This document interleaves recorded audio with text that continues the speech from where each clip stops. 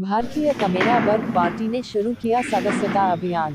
Party ने to lakh सदस्य बनाने का लक्ष्य किया तय। राष्ट्रीय अध्यक्ष ने रेवाड़ी से सदस्यता अभियान की शुरुआत। रेवाड़ी में पार्टी पदाधिकारियों ने प्रेस कॉन्फ्रेंस कर पार्टी का विजन व एजेंडा रखा। रेवाड़ी में भारतीय कमेरा वर्ग पार्टी ने एक रेस्तरा में प्रेस कॉन्फ्रेंस कर अपने सदस्यता अभियान की शुरुआत की। पार्टी के राष्ट्रीय संयोजक डॉक्टर महेश कुमार ने प्रेस को संबोधित करते हुए कहा कि इस वर्ष में पार्टी ने प्रदेश में दो लाख सदस्य बनाने का लक्ष्य रखा है। पार्टी की ओर से रविवार को एक निजी होटल में प्रेस कॉन्फ्रेंस कर पार्टी का विजन और एजेंडा मीडिया के समक्ष रखा गया। इस मौके पर उनके साथ प्रदेश अध्यक्ष प्रीतम जानगड़ा महिला विंग की प्रदेश अध्यक्ष नीलम सरोहा प्रदेश उपाध्यक्ष आनंद प्रकाश जानगड़ा प्रदेश सचिव नीरज कुमार के साथ साथ पार्टी के पदाधिकारी और कार्यकर्ता मौजूद रहे। इस मौके पर राष्ट्रीय अध्यक्ष महेश कुमार ने कहा कि गरीब, किसान, मजदूर ने हर पार्टी को वोट देकर देख लिया। सभी ने इस कमेरे वर्ग के साथ हमेशा छलावा ही किया ऐसे में सभी ने मिलकर ये निर्णय लिया कि खुद की लड़ाई खुद ही क्यों न लड़ी जाए, इसीलिए नई पार्टी का गठन किया गया है।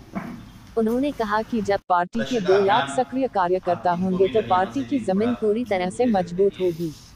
उन्होंने कहा कि बेरोजगारी, महिला सुरक्षा, किसान व मजदूर के हितों की लड़ाई में सभी सरकारें अभी तक फेल सिद्ध हुई है, यही कारण रहा कि नई पार्टी का गठन किया गया।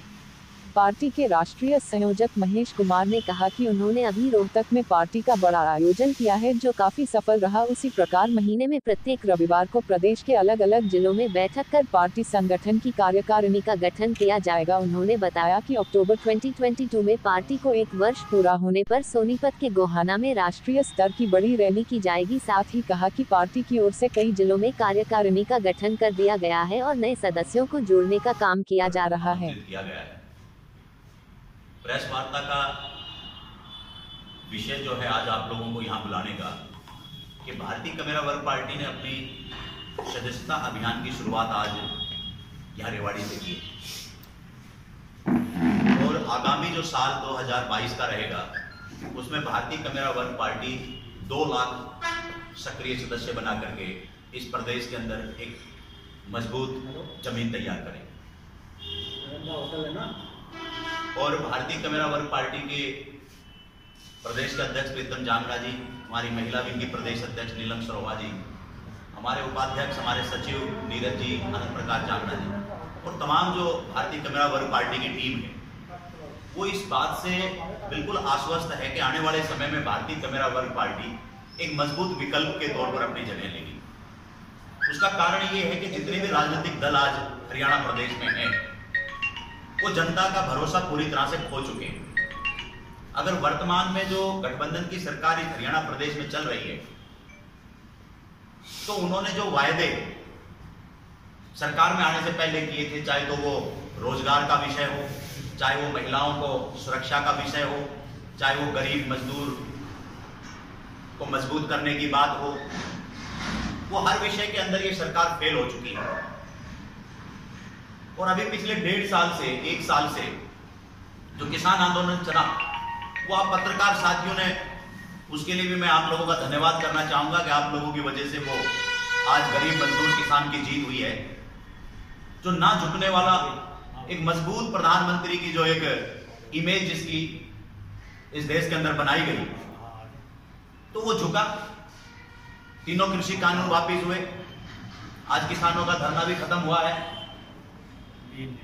तो उसके अंदर जो आप लोगों ने पत्रकार साथियों ने भी जो अहम भूमिका निभाई, उन आंदोलनकारियों जो इस देश को मज़बूत करने के लिए जो आंदोलन चला इस देश की राजधानी के अंदर, उस बात को आपने बड़े मजबूती से उठाने का काम किया।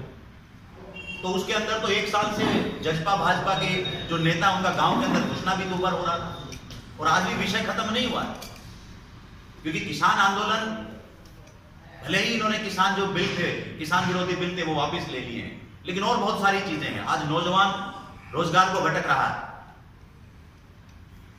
निजीकरण, राष्ट्रीयकरण का निजीकरण करने का काम किया है। हर एक पब्लिक डिपार्टमेंट आज मेरे ख्याल में विश्व के अंदर भारत एक पहला देश होगा, जहाँ पर ना तो भारत का अपना कोई बैंक होगा, ना कोई संचार व्यवस्था इनकी अपनी होगी भारत की, ना शिक्षा अपनी होगी, ना चिकित्सा अपनी होगी तो कोई भी कोई भी ऐसा सेक्टर इनका नहीं होगा जो इनका ये कहें कि सरकार का सेक्टर है। सब उद्योगपतियों के हाथ में देने का काम किया है।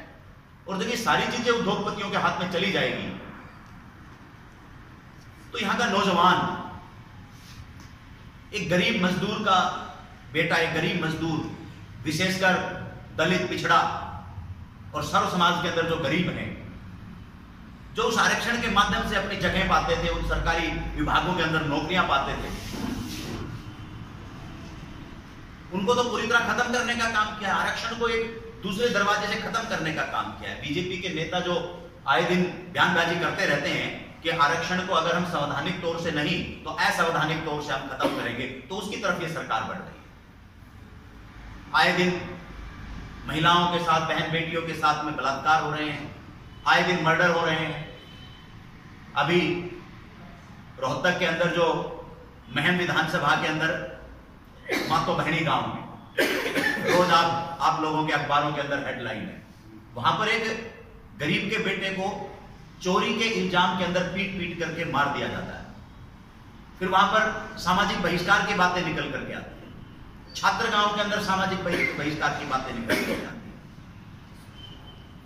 तो इसलिए, चाहे वो रोज़गार का विषय हो, चाहे वो कानून व्यवस्था की बात हो चाहे वो मजदूर और किसान को कमज़ोर करने की बात हो, चाहे वो देश के अंदर निजीकरण करके उसकी अर्थव्यवस्था को कमज़ोर करके इस देश को विकासशील देशों की भी लिस्ट से बाहर करने की बात हो तो पूर्णतः ये सरकार इस देश में और प्रदेश के अंदर फेल।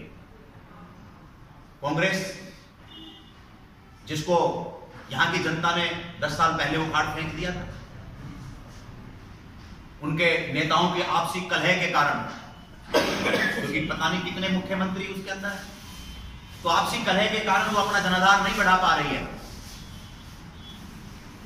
आईएनएलडी जजपा वो अपने अपने अस्तित्व की लड़ाई लड़ रही है।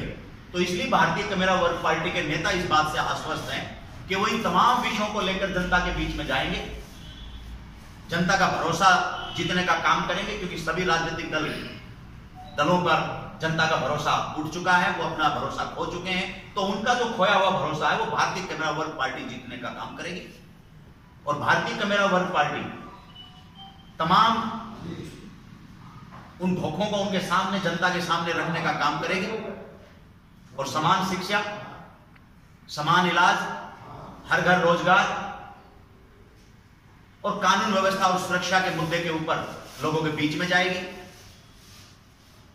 तो इसलिए भारतीय कमेरा वर्ग पार्टी ने आज जो अपना सदस्यता अभियान यहाँ रेवाड़ी से शुरू किया है, उसको पूरे प्रदेश के अंदर प्रदेश की टीम लेकर के जाएगी और दो लाख सक्रिय सदस्य बना करके अपनी ज़मीन को मज़बूत करेगी और आने वाले समय के अंदर मजबूती से चुनाव लड़के इस प्रदेश के अंदर सरकार बनाने की काम करेगी। ये तमाम जो विषय थे, उन पे आज आप लोगों को बुलाया था और विशेषकर जो आज पिछड़ा वर्ग है, इस सरकार के अंदर अलग अलग आदमी के लिए अलग अलग पैमाना। किसी की तो गरीबी ढाई लाख से डिसाइड होती है, शेड्यूल कास्ट की गरीबी ढाई लाख से डिसाइड होती है, बैकवर्ड की गरीबी आठ लाख से अब छह लाख से डिसाइड हो रही है, जो इकोनॉमिकल वीकर सेक्शन है उसकी आठ लाख से डिसाइड हो रही है। तो कोई आठ लाख में गरीब है, कोई छह लाख में गरीब है, कोई ढाई लाख में गरीब है। तो इनका एक पैमाना नहीं है। ये उद्योगपतियों की सरकार है, ये उनके चंगुल के अंदर, उनकी गुलामी के अंदर उनको चंद 10 परसेंट लोगों को इस देश को, तमाम चीज़ें उन 10 परसेंट लोगों के हाथ में दे करके और इस देश को और कमज़ोर करने का काम कर रही है। तो इन तमाम विषयों को लेकर के भारतीय कमेरा वर्ग पार्टी जाएगी और लोग निश्चित तौर से विश्वास करेंगे, भरोसा करेंगे। क्योंकि जितने भी दल आज तक जिनकी सरकारें बनी, उन्होंने तो वादे किए, वादे देख भी पूरे नहीं किए। लेकिन हम ज़मीन पे काम करेंगे, ज़मीन को मज़बूत करेंगे और निश्चित तौर से सरकार बनाने का काम करेंगे। तो ये आज हमारा विषय था। बाकी आप पत्रकार साथी कोई और भी बात आप लोग पूछना चाहते हैं तो आपका स्वागत